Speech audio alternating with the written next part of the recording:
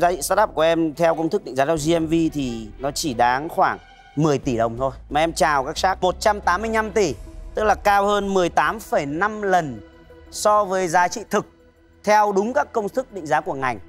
Thì đây là một cái startup anh nghĩ rằng là ngáo giá nhất từ đầu mùa đến nay. Thị trường mà các em đang nhắm vào ấy, ngách của ngách của ngách.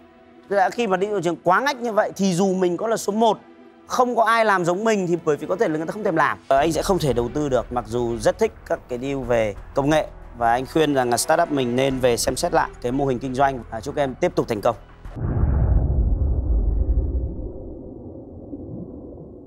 Chào các nhà đầu tư, tôi tên là Hồ Sĩ Duy, là co-founder của ứng dụng Medigo Software. Hôm nay tôi đại diện công ty đến đây để gọi với số vốn đầu tư là 1 tỷ 850 cho 1% cổ phần. Medigo là một nền tảng công nghệ kết nối nhiều dịch vụ y tế lại với nhau. Hiện nay đang là đơn vị duy nhất tại Việt Nam cho phép đặt thuốc xuyên đêm và giao hàng siêu tốc. Qua hơn một năm rưỡi hoạt động, chúng ờ, em đã có hơn 150.000 người sử dụng với hơn 2.500 đánh giá từ người sử dụng với điểm số đánh giá trung bình là 4.9 sao trên cả Google và Apple Store. Hai nhà đúc khởi điểm vào năm 2019. Hiện nay, chúng em đang hoạt động với hơn 150 nhà thuốc và một chuỗi nhà thuốc lớn tại cả ba thành phố là Hồ Chí Minh, Hà Nội và Đà Nẵng. Sự hợp tác với hai bệnh viện hiện tại cho phép chúng em mở ra rất nhiều hướng đi để thử nghiệm. Cho tới nay, Meduo đã trải qua hai vòng gọi vốn và hiện tại đang nhận được sự đồng hành của hai nhà đầu tư rất tuyệt vời. Hy vọng thông qua chương trình sát tăng, chúng em có thể nhận được sự đồng hành đến từ những nhà đầu tư tuyệt vời như các sát ngồi đây. hai vòng đầu tư là mỗi vòng bao nhiêu tiền Hai nhà đầu tư này vào cách nhau 7 tháng, hơn 300 ngàn. Các founder thì còn lại khoảng ờ, 88% cổ phần. Hai cái nhóm mà đầu tư vào 300.000 đô ha, họ theo giá trị valuation nào em? vòng gần đây nhất ấy Đầu tiên là vào hơn 200 ngàn và KPI phía sau là tiếp tục sẽ cho thêm 800 ngàn nữa nếu cán KPI. Giá trị 100% của round 1 và 2 là bao nhiêu? Round thứ nhất 9 tỷ, round thứ hai là tụi em là 40 tỷ và 40. round cán KPI là 115 tỷ. Ok. là đây là post money à Dạ, post post Bạn nói là có 150 gì đơn thuốc hay là sao? 150 nhà thuốc đang hoạt động Liên kết. cùng- Họ cũng phải mở 24 trên, trên 7 giống như À của bạn. dạ, thì có một số thôi ạ. Về đêm á, thì có nhà thuốc mở nhưng mà người sử dụng họ lại không thể biết được là cái nhà thuốc đó đang mở. Thành ra Bản dụ chất của bạn là bạn có giống như là một cái sàn thương mại điện tử, một ứng dụng để bán thuốc ờ, 24 trên 24 giờ. dạ Ai sẽ là người đi giao? Cũng là một shipper. và có shipper Thế thì làm nào để nhà thuốc biết được là cái thuốc đó có đúng đơn hay không? Hay là chỉ bán một vài thuốc bán một vài thuốc cơ bản. shipper bạn đang liên kết với app nào Giờ chúng em đang liên kết với uh, Lalamu và Grab. Thế thì cái nền tảng của bạn ờ, nó là một cái app thôi chứ nó có cần gì phải đầu tư gì mà lắm tiền thế? Có những hướng đi rất nhiều có thể thử nghiệm trong tương lai. Ok, bạn thu tiền từ đâu? Thu tiền từ uh, commission với nhà thuốc Bao nhiêu phần trăm? 5 đến 10% thế còn cái tiền ờ, phí giao hàng thì ai ai chịu và user. Em cũng biết là Pharmacity là một thương hiệu rất là khủng khổng lồ ở Việt Nam. Dạ đúng ạ. Tụi em có hợp tác nhóm đó không? Chính xác là tụi em có đặt vấn đề với Pharmacity nhưng uh, có thể là một vài lý do nào đó bên uh, không hợp tác rồi bây giờ hiện nay mỗi tháng trung bình là đốt bao nhiêu tiền là 280 triệu dự kiến bao giờ sẽ break even khoảng tháng 9 hoặc tháng 10 năm nay. Cũng chia sẻ bạn tôi cũng đầu tư vào một cái app giao hàng tên là Heyu. Nó có dịch vụ dịch vụ say vặt. Đấy, và dịch vụ say vặt này có thể gọi ở trên app là có thể người sai người ta đi làm bất kỳ việc gì mình từ mua cái bánh giò cho đến mua thuốc rồi đem đến cho mình mình chỉ trả tiền ship thôi. Đấy cái đấy thì có lý hơn. Tốt nhất em nói là cái sự khác biệt em là cái gì đi? Câu chuyện uh, khi mà tụi em gây dựng cái này á đó là từ anh uh, founder anh có một con nhỏ bị sốt vào khoảng 2 đến 3 giờ sáng. Cũng giống xác anh cũng là một dân công nghệ, cũng lên ngay trên mạng ngay lập tức tìm kiếm nhà thuốc. Trên mạng có rất nhiều nhà thuốc kêu mà hoạt động 24 giờ nhưng đến lúc mà cần á là anh không tìm được bất kỳ một nhà thuốc nào hết. Toàn bộ là khóa máy đóng cửa hết. Là anh phải chở con của anh từ bình dương nhà ở bình dương chạy lên bệnh viện nhi đồng 1 thì đó là một trong những câu chuyện gây lên niềm cảm hứng tạo nên Medigo Một đứa trẻ mà khi bị bệnh mà không có bác sĩ kê toa ấy Mà đi ra để tự động mua cái đấy là cực kỳ nguy hiểm. Dạ. Chở con bệnh viện đấy là một phương án hay nhất May cho anh đấy là anh không tìm được nhà thuốc à, nào. May không tìm đấy tại thời điểm đó thì anh founder anh chỉ nghĩ rằng nếu chỉ cần tìm được một viên thuốc hạ sốt thôi để tranh thủ thời gian cho ảnh Nhưng mà ví dụ như là đứa bé nó bị sốt xuất huyết thì sao? thì sốt xuất huyết thì nó vẫn cần hạ sốt phải không Không Không. Các Nguy bạn hiểm đừng phỏng đoán kiểu đấy Rất hại Sốt xuất huyết chẳng hạn mà lại cho thuốc giảm sốt thì thôi đưa, đi luôn rồi. Tôi xin phép có ý kiến luôn về việc này cái mô hình kinh doanh ấy, bạn đi vào một cái nó quá chi là nhanh ách cái loại giá thuốc không cần đơn ấy, thì người ta ngay mai người ta mua cũng được, chả cần phải phải nửa đêm sốt ruột đến mức mà đi mua.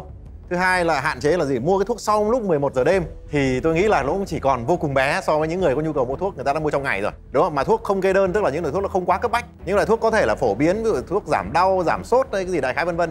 Cái thứ hai nữa là vai trò của bạn trong cái hệ thống này. Nó chỉ là một người mà coi như là, mà làm một cái nền tảng để coi như là order hộ và chiếm được vài phần trăm giá như là nếu bạn, các bạn mà có thể kết hợp được với bác sĩ vài hay là gì đó là kê đơn luôn chẳng hạn, hay là khám chẩn đoán lâm sàng luôn và cung cấp thuốc luôn kết hợp giữa bán thuốc với lại nhà thuốc với lại hệ thống bác sĩ, có khi nó lại còn hiệu quả hơn cái thứ ba nữa là cái định giá, đúng không? Bạn đã nói có một người round 2 tôi giả sử như bạn nói đúng 40 tỷ trong round 2 và nếu đạt được KPI thì 115 tỷ. Bây giờ KPI chưa đạt được mà bạn đã gọi 185 tỷ rồi, đúng không? Là một cái điều phi lý không công bằng cho chúng tôi. Bởi vậy tôi không đầu tư. Xin cảm ơn sếp. Một cái app như vậy mà 180 tỷ thì nó bị bệnh hoang tưởng ấy.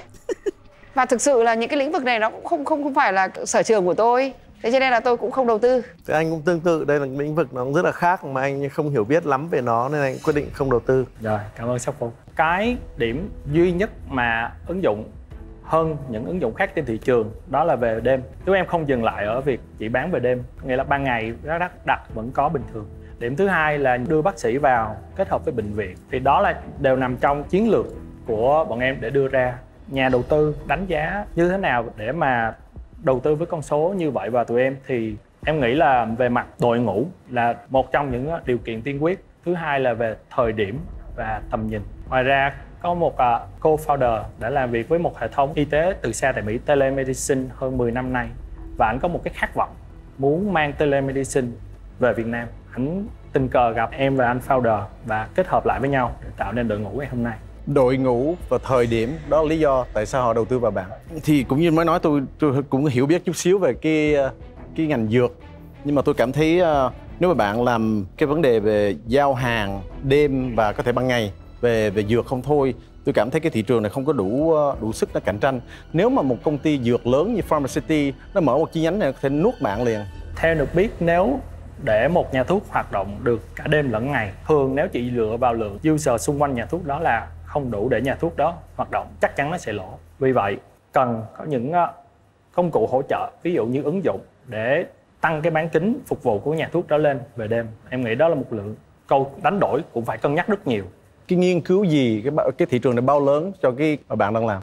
Một uh, tỷ 8 đô uh, cho thị trường Việt Nam. Và ai đưa ra cái số đó ạ để em nhớ chính xác cái cái cái cái cái nghiên cứu đưa ra tỷ 8 là thị trường uh, hiệu Trung thuốc à? tất cả thuốc. Bán thuốc, tất cả lại dùng thuốc. Về đêm thì nó rất nhỏ. Nhưng mà cái này của bạn là, là ngách của ngách của ngách. Có thể là cái market size em nhớ không chính xác con số. Ok không sao. Một cái lời khuyên chắc lần sau nếu mà các bạn startup mà lên đây mà trình bày thì phải mạnh mẽ hơn, phải biết những cái câu hỏi này thì nó sẽ giúp các short quyết định quyết liệt. Cách em trình bày thì không có đủ sự thuyết phục cho tôi đầu tư vào. Sắc chuyển đổi số nốt đi. Anh thì làm uh, thương mại điện tử đến đây cũng khoảng hơn 15 năm rồi.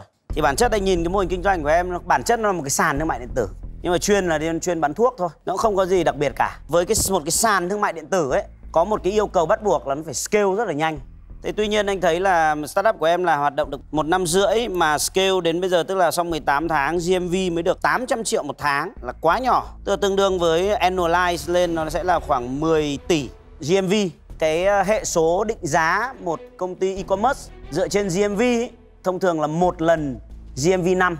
Ví dụ như là Alibaba mua Lazada họ họ định giá khoảng một lần GMV giá trị startup của em theo công thức định giá theo GMV thì nó chỉ đáng khoảng 10 tỷ đồng thôi. Mà em chào các shark 185 tỷ tức là cao hơn 18,5 lần so với giá trị thực theo đúng các công thức định giá của ngành.